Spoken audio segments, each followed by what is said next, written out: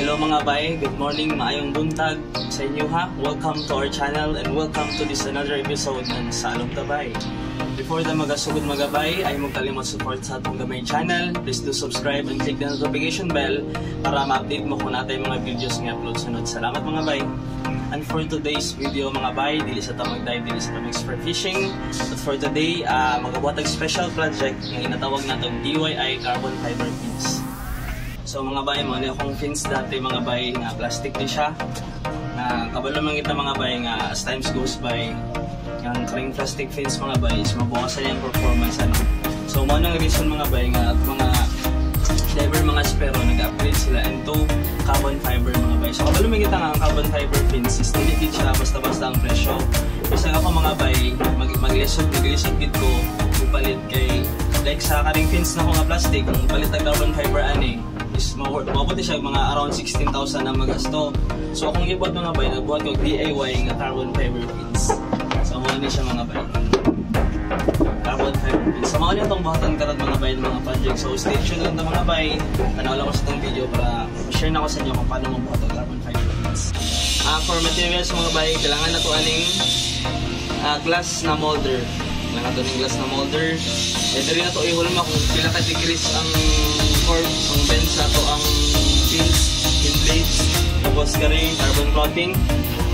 Next is uh, releasing agent. Pag dili mo pilit ang epoxy sa salamin, o kari hardener o ang atong epoxy resin. Siyempre, kailangan ko na to aning scrape, plastic scrape para pang katag sa resin, tapos kari pang tanggal sa bubbles. Fiberglass roller, tanggal na to bubbles. First ito i-apply aring releasing agent sa sa glass.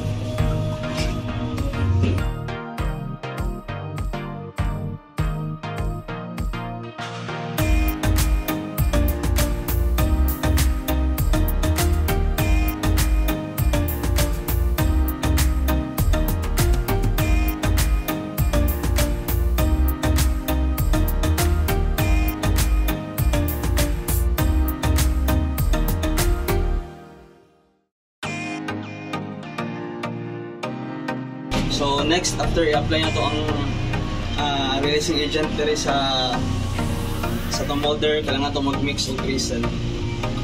So ano akong dapat epoxy resin. Mix na to slowly.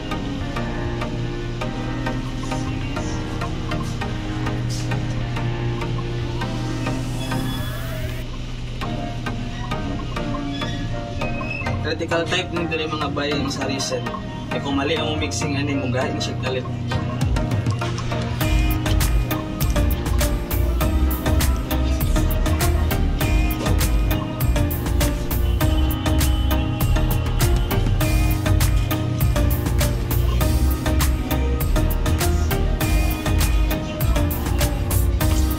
Bago ta mag-apply o carbon coating, butangan sa nato og epoxy ng atong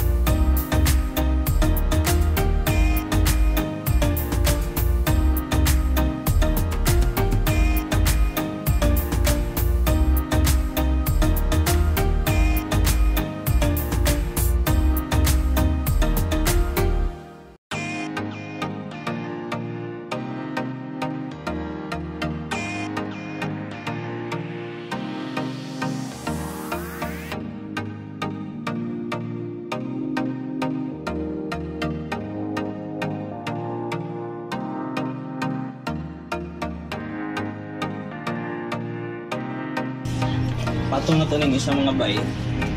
Ang katason niya ani, dili sila pareha kataas sa una na tong batong.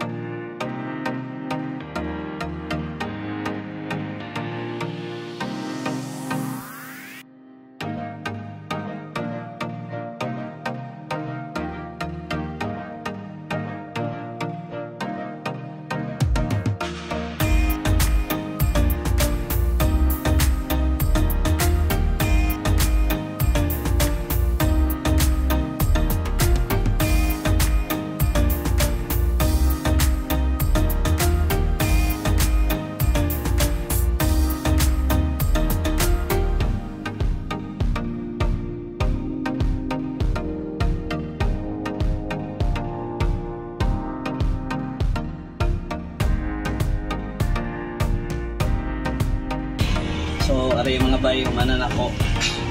Wala to na na ito magahi. Dili ko na to siya pwede bulad. Ah, basag na lang na to siya room time. So, maano yun itong trabaho gapon mga bay. Actually, gitanggal na ako ang fill fly. Gitanggal na po na ako siya sa motor. Pwede, 6 hours, gikan sa pagtapos itong trabaho, pwede na ito siya tanggalon. As long as na dili mo pilit ang recent pag-unit ito.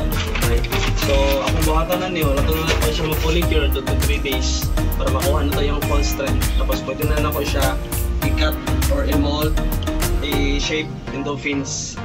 Gamit ni siya mga bay. Kare. Nindot ni siya kay mga korba-korba, pwede na to ni siya, wapo kayo siya gamiton niya, gamay lang iyang kaon. So tips na ko pag mag-cut mga bay, carbon fiber is ah magtusot ang protected gears like sa mata, especially sa mata, unya sa atong panit kay katol ni siya pag mato ang micro microfiber sa atong panit. Sulod sa itong mga pores. No? So after nito pag-cut ani, ah tirahan ako siya top coat, tinisyahan ako siya dire, tirahan ako liha para maghamis ang lihang side to side. So mga ano na siya mga pre. After, pag mahuman na to form, kailangan lang na to ni. Kailangan lang na to ni nga tawag fin rail. Kung ano siya itong ibutang sa itong fins para singa mga pre. Karing yellow, fin rail na siya. Kanya itong gamit papilit ani mga bay, mga ni siya, Loctite 401. Tibay-tibay ni siya nga adhesive, mabalik na siya sa Shopee. Sure na niyo itong original mga bay. So mga ni siya ang finished product sa atong ibuhat. So kada kung magbuhat mo, uh, ingani mga bay, good luck sa inyo ha. Tuntag makabuhat mo successful na fin, fin blade. Salamat mga.